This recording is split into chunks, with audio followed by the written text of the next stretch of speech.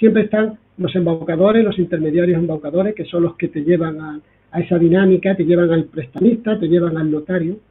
Eh, después, el segundo, lo más importante, la pieza clave, es el notario corrupto. Es el notario que te va a hacer firmar unas escrituras corruptas, es decir, un engaño, una estafa, porque tú vas a solicitar un dinero y ellos te van a decir, te vamos a dar esta cantidad, pero en 15 días te vamos a dar el resto. Tú firmas en, delante del notario esa cantidad y te han dado, pues, ya te digo, hay gente que está perdiendo las viviendas por 1.500 euros.